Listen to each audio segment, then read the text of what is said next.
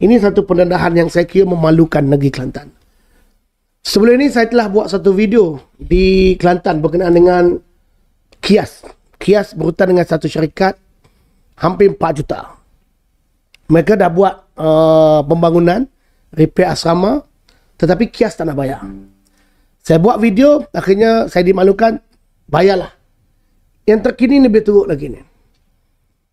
Anak syarikat negeri Kelantan bawah PMBK telah pun mengambil 800 ke 900 ekor lembu untuk dijadikan uh, lembu korban pada raya tahun lepas. Dan katanya saya difahamkan lembu itu diberi kepada rakyat. Ibadah korban. Bila syarikat yang berkenaan yang telah membayar lembu itu yang lembu itu diambil daripada Thailand mula-mula dia berdalih. Dia kata tak sempat nak bayar lagi. Kena projek tahun lepas dia kata uh, banjir. So tak boleh bayar banjir. Selepas banjir syarikat tu tanya lagi dia kata oh sekarang sibuk. Sibuk kerana kita sedang pilihan raya. Uh, lepas pembentukan kerajaan baru akan bayar. Dan sepatutnya bayar bulan tiga tak bayar. Akhirnya syarikat Kelantan memberitahu mereka tidak ada kaitan dengan uh, pembayaran 800 uh, uh, dalam 800 ekor ni yang bernilai lebih hampir 3 juta ini mereka tidak mahu bertanggungjawab. Dan akhirnya kes ini dibawa ke mahkamah.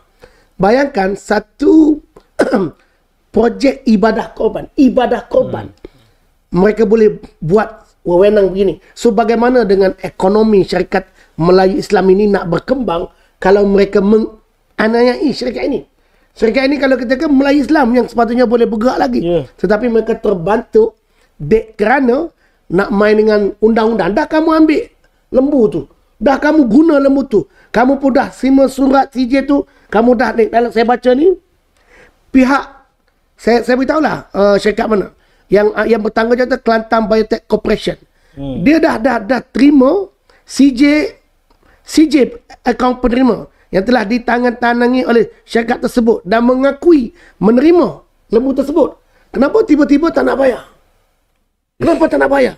Ini kalau saya masih ingat uh, ceramah pas uh, kalau tak bayar bil air dikuatiri solat rakyat tidak sah. Ini satu penceramah daripada PAS. Adakah kerajaan hari ini uh, juga tidak tidak sah ataupun tidak diredai oleh Allah SWT kerana satu projek korb, ibadah korban masih lagi tidak terbayar selepas Hari Raya Korban yang 2023.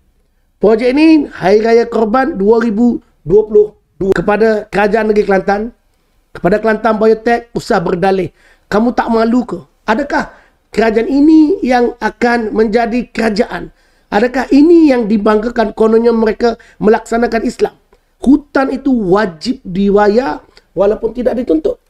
So kalau hari ini kalau kita tengok mereka tidak serius nak membantu syarikat ini nak nak cari jalan penyelesaian jangan bercakap kamu nak bantu ekonomi Melayu Islam.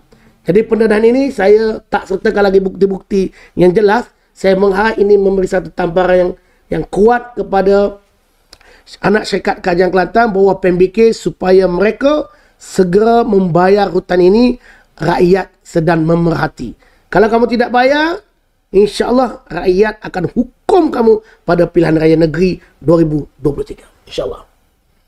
Itu isu besar tu. Ya, isu, isu memalukan. Isu memalukan. Isu mungkin akan tersabit tentang sama ada ibadah korban. Sah atau tak? Saya pun risau tu. Sebab kalau kita kira. Duit lembu dah ambil. Dah ambil. Bayar belum lagi. Bayar belum lagi.